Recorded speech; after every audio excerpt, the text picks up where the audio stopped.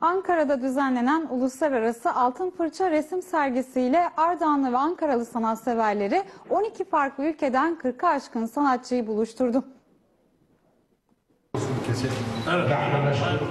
Ardahan Dernekler Federasyonu'nun Ankara Zafer Çarşısı'nda düzenlenen Uluslararası Altın Fırça resim sergisiyle Ardahanlı ve Ankaralı sanatseverleri 12 farklı ülkeden 40'a aşkın sanatçı ile buluşturdu.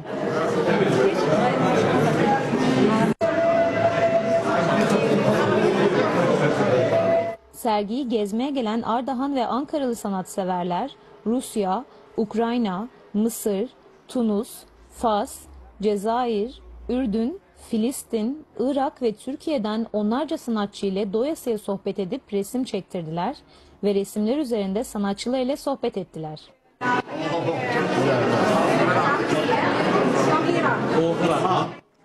15